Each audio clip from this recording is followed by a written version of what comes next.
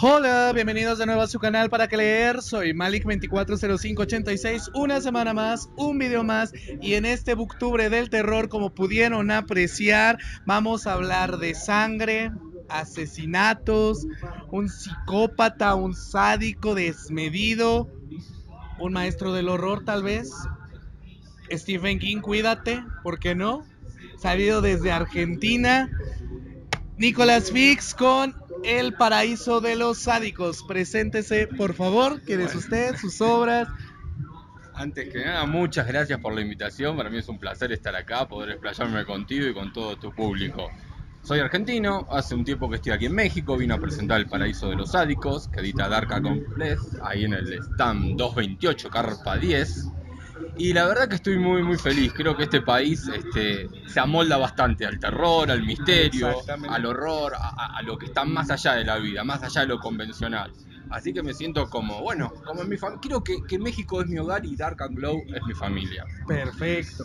Una de las preguntas que sobre todo resaltan mucho con nuestros seguidores y con los autores es ¿por qué escribir terror? Sabiendo que a lo mejor es uno de los géneros mayor vistos en cine, pero en literatura como que se queda un poco rezagado. Claro, es que la mayoría de las películas empiezan en libros generalmente. Exactamente. Tito, El Exorcista. Eh, creo que el terror es una buena vía de escape ante el terror y el horror cotidiano del hastío, de la injusticia. Creo que, que, es interesante divagar un poco y dejarse llevar por los instintos más oscuros que tenemos, tanto los escritores como los lectores quizás es un género comercial, si se quiere, pero también es un género difícil. Eh, no cualquiera puede escribir terror, como no cualquiera puede escribir comedia también. Exacto, sí. Sin caer en lo grotesco, ¿verdad? Hay ciertas situaciones de los textos que tenés que tener muñeca para escribir, porque si no caes en lo grotesco, en lo fácil, en, lo soso.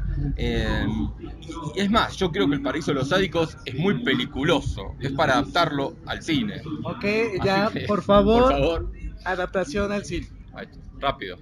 Porque se me vence la visa de turista. Ándale, por favor. Ya, ya quiero firma de exclusividad para leer el guion, para estar detrás de cámaras, para cuando se haga esa película.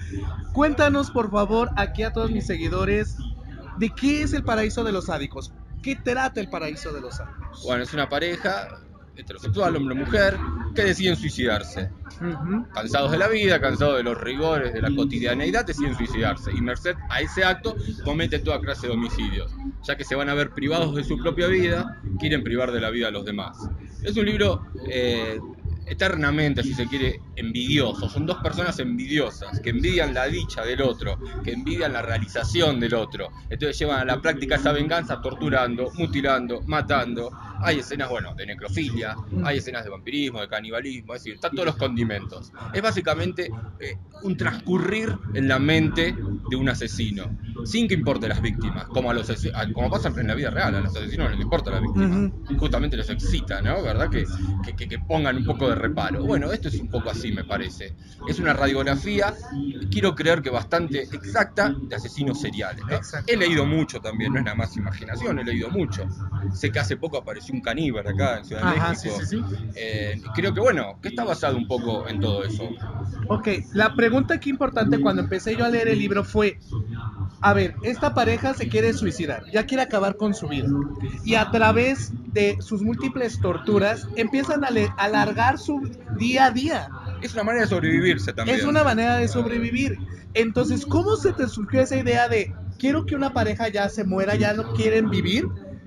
Pero inconscientemente ya pasaron los meses y siguen torturando, siguen mutilando, siguen violando, siguen asesinando y ya no murieron. Siguen, siguen, en esta vida. Tenés razón, quizás el afán de, de suicidio sea más fuerte en ellos que el afán de homicidio sea más fuerte en ellos que el afán de suicidio.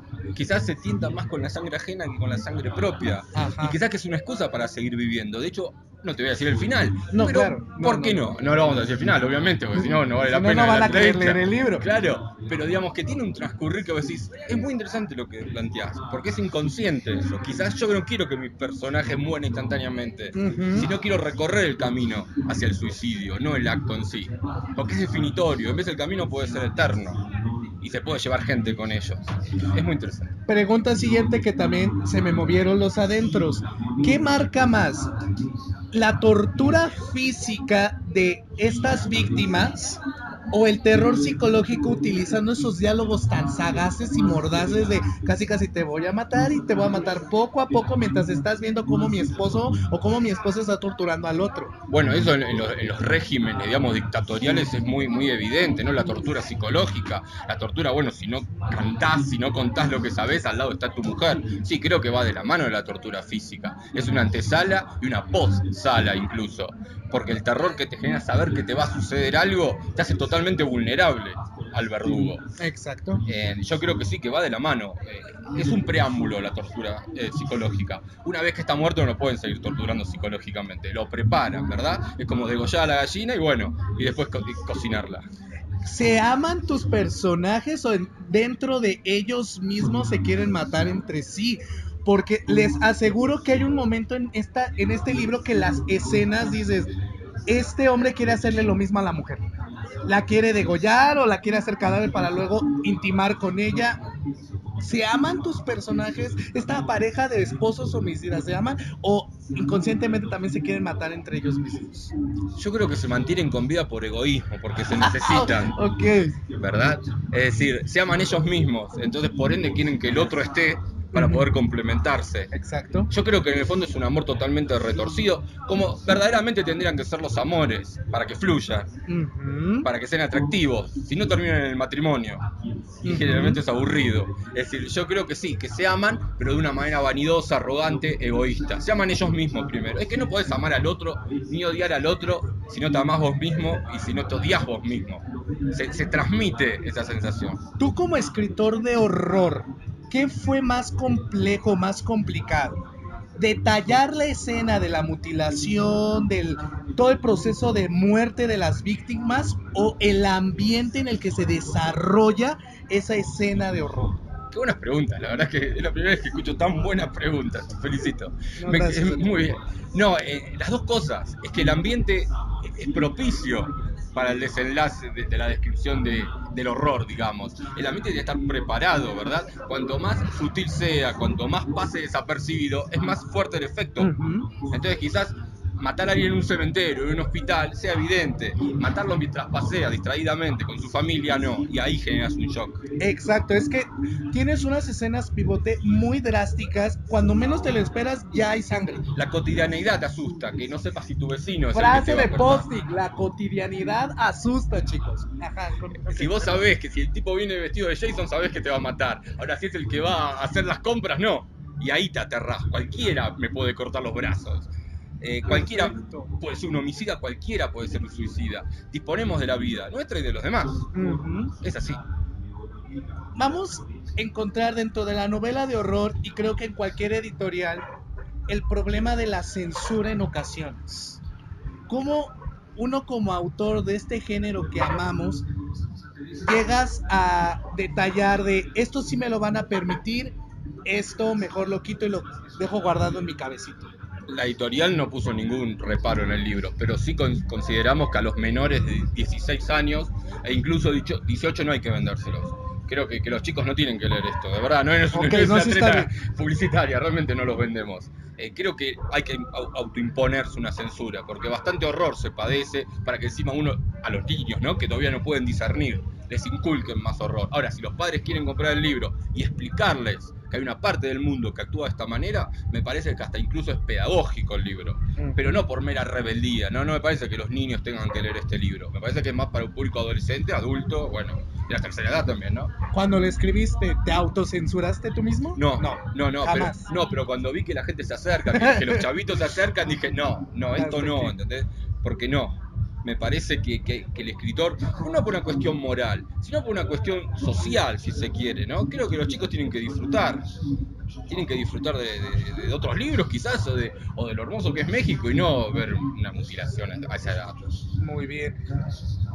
Ya nos hablaste que hay vampirismo, hay canibalismo. Muchos dicen, sobre todo muchos comentarios, que no es necesaria otra obra de terror tan violenta porque ya vivimos en una sociedad muy violenta. ¿Qué opinas acerca de esa circunstancia? Es un buen argumento, pero quizás cuanto más reflejos hayan, de hecho, dicho esto es un reflejo, más conozcamos la violencia y más podamos detenerla. Ok. La, violencia no es únicamente en la calle, también es televisiva, es por internet, es en los diarios. Creo que, hay gente que escribe con, afán de lucro y hay gente que, escribe con afán de reflejar lo que sucede, ¿verdad? No para cambiar las cosas, sino para concientizar, para saber qué puede suceder. Eh, pero también te entretiene, porque al mismo tiempo dices, bueno, pero no me pasó, ¿entendés? Está en un libro. Esto no es la realidad, la realidad es muchísimo peor que el paraíso de los sádicos. Ok, muy bien. La muerte para Nicolas Fix es un lienzo de entretenimiento o es una ventana de muchas posibilidades. La muerte es la paz, es el fin. ¡Ah, genial! La muerte, la muerte es la paz. La muerte es la paz, la paz de los muertos. Es decir, creo que tengo cierto culto a la muerte. Eh, me gusta ir a pasear a los cementerios. Admiro a la gente que sabe morir no tanto la gente que sabe vivir. Cualquiera puede saber vivir e incluso haciendo cualquier atrocidad. Saber morir, como los antiguos, como los griegos, como los antiguos nórdicos, es un arte. Eh, se podría decir que hasta amo la muerte, pero no como, como una evasión, sino como un descanso. Los personajes descansaron y supieron morir. Exacto. Y creo que, que el autor mismo busca ese epílogo muchas veces. ok, genial, amigo. Pues bueno, ya para cerrar esta maravillosa entrevista, me encantaría que le dijeras a mis seguidores tres libros de terror que recomiendes, unos consejos para adentrarte a escribir terror y el para qué leer El paraíso de los Sad. Bueno, eh, la obra de Edgar Allan Poe me parece de cabecera completa. Lovecraft. Lovecraft es Lovecraft. Lovecraft es Lovecraft. Y quizás, no sé si es terror, pero ciertas cosas de Baudelaire también, ¿verdad? ¿Qué? Cierta, cierta locura, si se quiere, ¿verdad? Cierto descenso a, los infiernos de Baudelaire.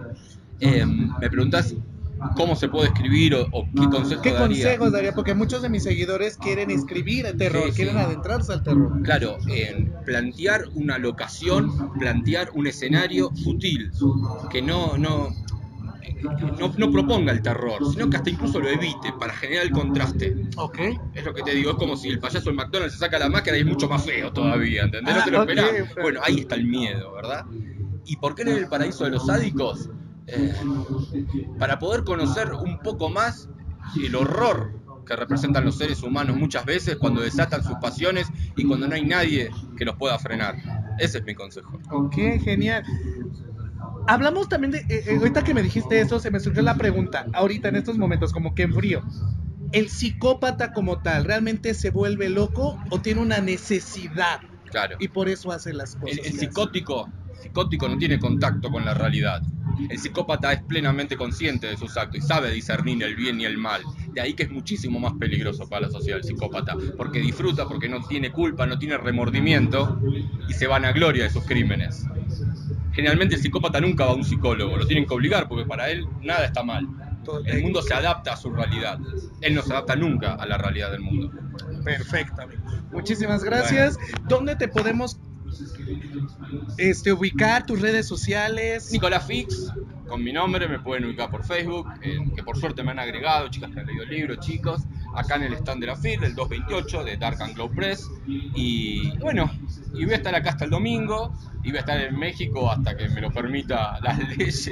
Ok. Chicos, asesinos seriales, canibalismo, psicopatías, romances retorcidos, una pareja de esposos matando a diestra y a siniestra, partiendo de que se quieren suicidar y terminan meses y meses y meses y matan a mil y un personas de las maneras más apabullantes que puedan imaginarse. Necrofilia también. Incluida. Incluida. Sexo con cadáveres. Imagínense qué ricura en el terror y sobre todo qué buenos ambientes creas. muchísimas gracias por todo.